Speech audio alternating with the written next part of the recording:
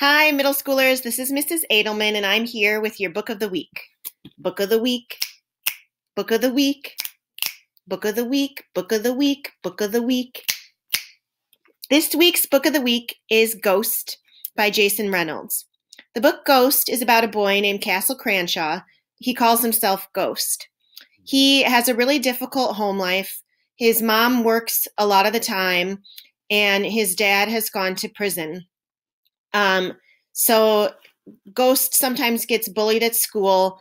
Kids make fun of him because his mom works in a cafeteria. They make fun of him because his clothes are sometimes worn out or his clothes are too big because his mom bought them um, extra large so that they would fit him a long time. And um, because of this, sometimes Ghost gets into fights at school with kids that are bullying him. So um, he's on kind of a bad path at school. Um, but then he gets discovered by a coach of a track team. This coach of the track team notices that Ghost is a super fast runner and he wants Ghost to join the team. But Ghost isn't sure about this. Um, so the coach has to convince him a little bit.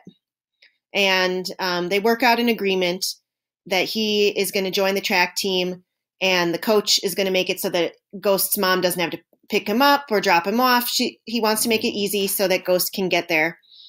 Um, but Ghost realizes he doesn't really have the proper gear for track.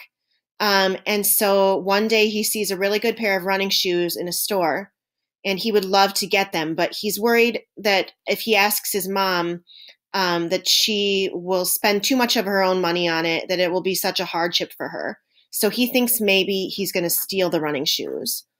Um, you'll have to read to find out if he decides to steal them or not, and um, read about how he gets to know the other people on the track team and all of their reasons for joining track.